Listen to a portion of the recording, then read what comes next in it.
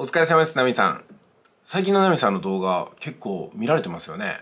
今回の何が起きても100%自己責任も昨日アップロード直後に確認した段階で100回、そして今見ると200回近く回ってるかなっていうとこです。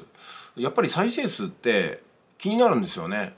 まあ、どんなものが見られているのか。そして見られた動画の関連動画にやっぱりナミさんの動画が上がってくることが多いですから今度はね横にこう移動していくといいますか視聴者さんが別の動画に期待してそちらの方にも意識を向けるみたいなことが起きるんじゃないかなと思います。いやね私もね YouTube の再生数って気にしてないんですけどもできれば多い方がいいじゃないですか、まあ、ですんでねあの画策する日々ではありますしやっぱり有益な情報って一人でも多くの方に届けたいと思うんですよね。で実際に多くの方が受け取ってあ確かにこれはいい情報だよねと思えば他の動画の評価も高まると結果的にあの視聴者さんを豊かに幸せにすることができるんじゃないかなと思ってるんですよね。はい、まあまああのなんか世のため人のためとまでは言いませんけども、まあ、せっかく何かをするんだったらね、まあ、誰かのためにはなりたいかなと思うのはまあ人情でございます。えー、特に私たちはそのビジネスなりね考え方っていうものを一つの商品としているところがありますんで、えー、その商品を販売する前の信頼構築としてねあのフリーの動画無料の一般公開動画がどのぐらい人に受け入れられているのかってことはものすごく大事なテーマだと思います。まあ、発信することにね何の信頼も発展性もなければそれこそ有料の商品なんて売れるわけないですからねやっぱりよりいいものを届けていきたいなと思いながらの動画公開になります。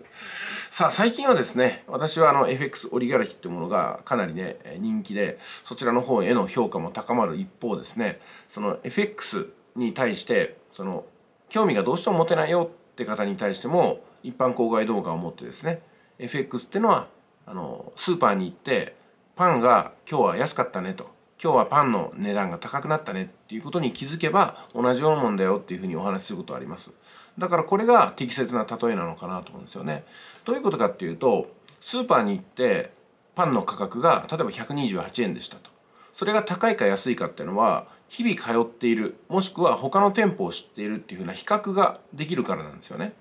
じゃあ今日はパンが安いねと思えば安い時に買った方がいいですし高いねっていう時には買い控えるってことになると思います。で、これができれば FX はもうね、できるんですよ。厄介なのは FX っていうのは、その寝頃感っていうのがね、こう動くんですよね。まあパンっていうのは1年間で、例えば128円のパンが256円になりましたってことは多分ないと思うんですけども、やっぱこうドル円っていうのはね、うん、つい先日まで120円だったものが150円の前後で安定したみたいなことは結構起きますんでね。まあ、そういった意味では今表示されているドル円での例えばドル円の価格があの安いのか高いのかっていうことを判断する、まあ、考え方が必要になってきます。それがテクニカルっていう考え方なんですけどもね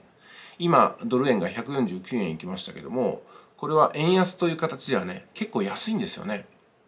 でここ数週間数ヶ月を見ていてもこのドル円の安さっていうのは急激に円が安くなってきてるっていう流れがあります。で急激にこの為替の価格が変わっていくと不都合が起きる業界がたくさんありますのでその業界に配慮して介入っていうふうなね政府の資金が動くってこともあるわけですよ。また今回ドル円の介入で、えー、例えば日銀がですね円を大量買いすると何が起きるかっていうとこれ日銀に利益が出るんですよね。うん、確かに今日銀が保有しているドルっていうのはねドルは過去かつて買ったものですけどもすごく円が高い時に買ってるんですよそれこそ100円を切ったような時にね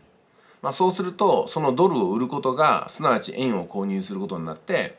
えー、円安から円高に向かわせるんですけどもこの円安から円高に向かわせるためのその日銀からのドルの放出っていうのはそのまんま利益につながってくるんですよね。やっぱりそういう意味で言うと日銀も財務省も FX をやってるようなもんなんですよ。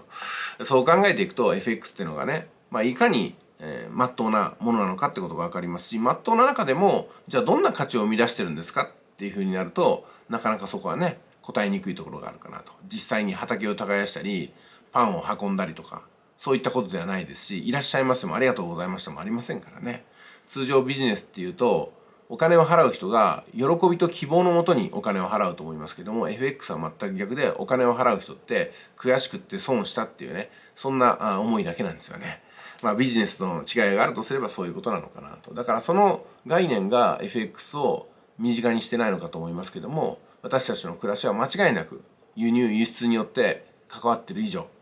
FX っていうものから皆さんね一人たりとも逃れられないっていうことになるんじゃないかなと思います。今回の動画は以上です。